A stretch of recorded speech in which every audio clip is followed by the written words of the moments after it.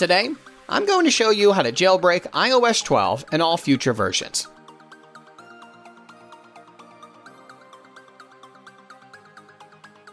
As you can see, I'm running the new iOS 12.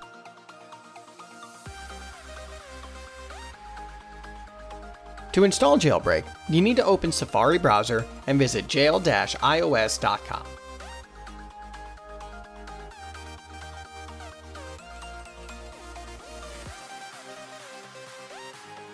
Once you are there, you will see explanation how it works and how to jailbreak your device.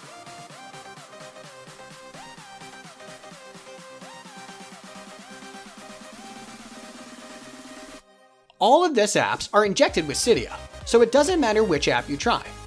Sometimes these apps get patched, so if it doesn't work with the first app, then just try another app.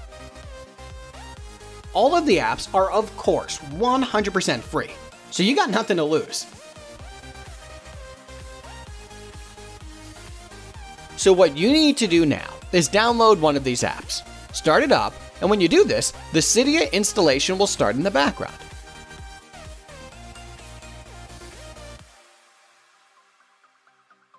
You need to start the app and keep it running for about 30 seconds to give Cydia time to install itself and the jailbreak.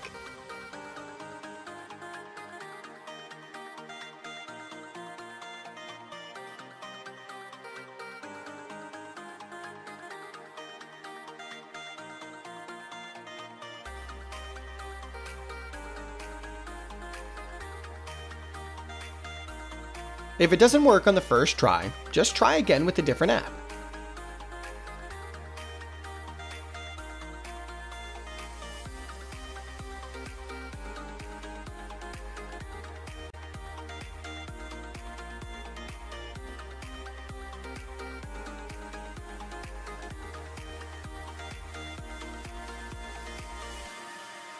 As I mentioned earlier, all apps are injected with Cydia, so just pick one, download, and keep it running for about 30 seconds and restart your device.